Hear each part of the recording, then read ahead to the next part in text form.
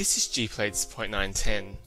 The most exciting release to date, Gplates 0.910 contains a host of new features that will allow novices and experienced users alike to take plate tectonic reconstructions to a whole new level.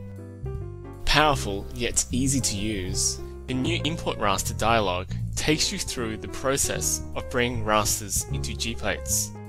Gplates now handles multi-band rasters, and you can also specify georeferencing. To save you time, all of this raster metadata is saved in a GPML file. As a major new piece of functionality, Gplates can now reconstruct present-day rasters back in time. Simply load up a rotation file and a static polygons file. Then, using the new Layers dialog, connect the raster layer to the static polygons. You can then enter the time that you want to go back to, or click the play button to view an animation rendered in real time. For smoother reconstruction, you can also connect an age grid to the raster layer. Don't worry if you don't have an age grid or a static polygons file. We've provided sample ones with the data bundle that comes with Gplates to help get you started. In addition to commonly used image formats, Gplates can now load NetCDF rasters for grids of numerical values. View them as is, or supply your own CPT file for customized coloring.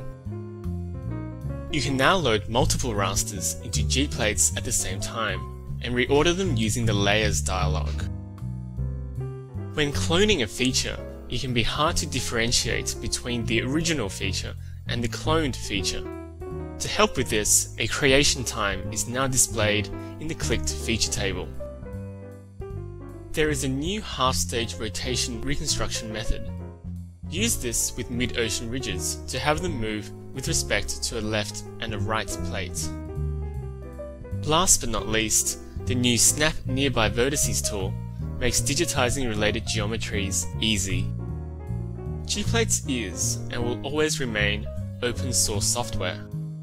Download your free copy today for Windows, Mac and Linux from www.gplates.org. We hope you enjoy using Gplates, the next generation tool for interactive plate tectonic reconstructions.